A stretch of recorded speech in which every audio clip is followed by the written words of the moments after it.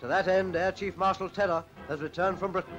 He is in supreme command of the air forces in this theater of war, with Air Vice Marshal Coningham directly responsible to him. Another winning combination.